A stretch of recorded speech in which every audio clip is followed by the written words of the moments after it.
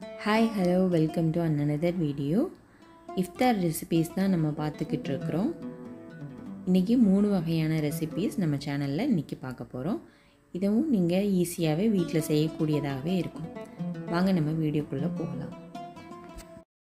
முதல்ல நம்ம செய்ய போகிறது வந்து சாக்லேட் ப்ரௌனி அதுக்காக இப்போ பட்டர் எடுத்துக்கலாம். நூறு கிராம் அளவுக்கு பட்டர் எடுத்துக்கணும்.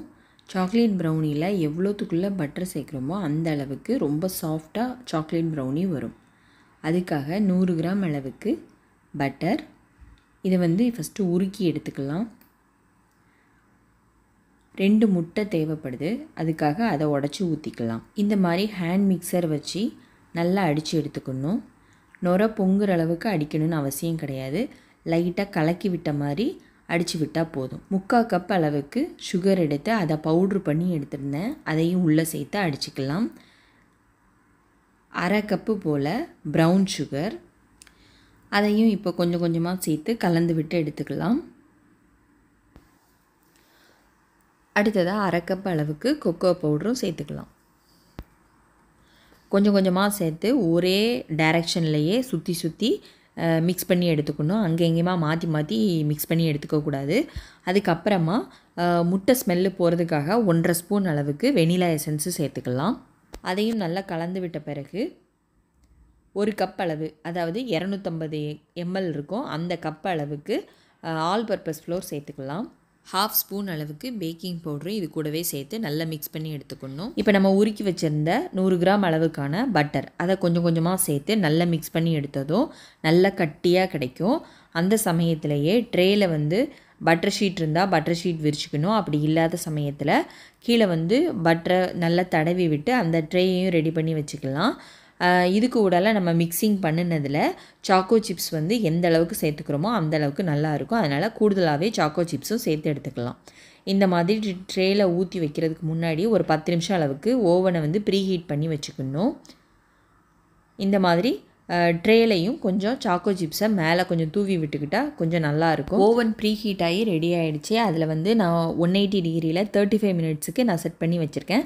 ஓவன் இல்லைன்னாலும் குக்கரில் பண்ணலாம். கேஸ் கட்டை ரிமூவ் பண்ணிவிட்டு விசில் வைக்காமல் அடிப்பிடிக்காமல் இருக்கிறதுக்கு கீழே தோசைக்கல்லை வச்சு அந்த மெத்தடில் கூட நீங்கள் பண்ண முடியும்.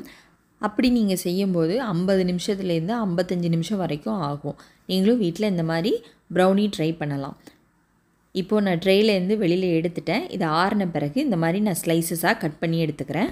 சாக்லேட் ப்ரௌனி ரொம்ப நல்லா சாஃப்டாக அழகாக வந்திருந்தது. நீங்களும் வீட்டில் ட்ரை பண்ணி பாருங்கள் இப்போ அடுத்ததாக நம்ம பார்க்க போகிற ரெசிபி வந்து ஆஸ் யூஷுவல் வழக்கம் போல் நம்மளோட ஃபேவரட்டான மட்டன் பிரியாணி தான். இப்போ இந்த மட்டன் பிரியாணிக்கு தேவையான பொருட்கள் எல்லாமே எடுத்து வச்சாச்சு. பிரியாணி வீடியோ நம்ம சேனலில் அடிக்கடி நம்ம அதிகமாகவே போட்டிருக்கோம். அதனால் இதோட விளக்கத்தை நான் கொடுக்க போகிறதில்ல இதை அப்படியே ஒரு சின்ன வீடியோ கிளிப்பிங்காக நீங்கள் பார்த்துட்டு வந்துடுங்க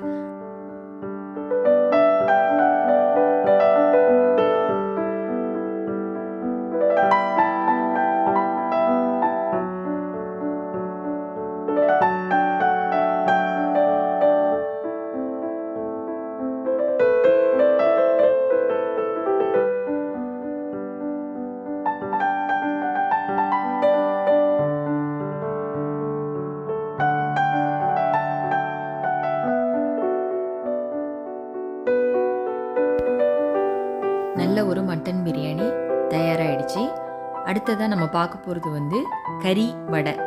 அதாவது மட்டன் மின்ஸை வச்சு செய்யக்கூடிய ஒரு வடையை தான் நம்ம பார்க்க போகிறோம் அதுக்கு தேவையான பொருட்கள் எல்லாமே எடுத்து வச்சாச்சு. ஃபஸ்ட்டு அதுக்காக ரெண்டு வெங்காயத்தை எடுத்து அதை வந்து நாலு துண்டாக வெட்டி இப்போ வந்து சாப்பரில் போட்டு எடுத்துக்க போகிறேன் வெங்காயம் தக்காளி பச்சை மிளகா கருவேப்பிலை. இது அவ்வளோத்தையும் சாப்பரில் போட்டு எடுத்துக்கலாம். ஆனாலும் இது வந்து அம்மி இருந்தது அப்படின்னா அதில் நல்ல நச்சு நம்ம செஞ்சோம்னா தான் நல்ல டேஸ்ட்டாக இருக்கும். அதுக்காக சாப்பரில் போட்டதை மறுபடியும் எடுத்து குழவியில் போட்டு நல்லா நசுக்கி எடுத்துக்க போகிறோம் இதில் செய்யும்போது தான் அதோட டேஸ்ட் வந்து சூப்பராக இருக்கும். அதனால் நான் வந்து அரைச்சதையே திரும்பியும் குழவிக்குள்ளே போட்டு அதை நல்லா நசுக்கி இந்த மாதிரி ரெடி பண்ணி எடுத்துக்கிடலாம்.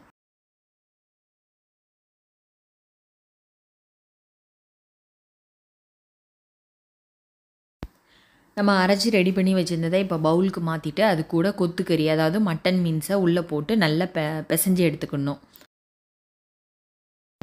இந்த மட்டன் வெங்காயம்லாம் நல்லா மிக்ஸ் ஆன பிறகு ஒரு டேபிள் ஸ்பூன் அளவுக்கு இஞ்சி பூண்டு பேஸ்ட்டு ஒரு ஸ்பூன் அளவுக்கு ரெட் சில்லி பவுடர் ஏற்கனவே பச்சை மிளகா போட்டிருக்கோம் அதனால் கொஞ்சம் காரத்தை க கம்மி பண்ணிக்கலாம். அதுக்காக ஒரு ஸ்பூன் அளவுக்கு ரெட் சில்லி பவுடர் ஒரு அரை ஸ்பூன் கரம் மசாலா ரெண்டு ஸ்பூ டேபிள் ஸ்பூனுக்கு கடலை மாவு ஒரு ஸ்பூன் பச்சரிசி மாவு அதுக்கப்புறமா கொஞ்சம் எண்ணெய்.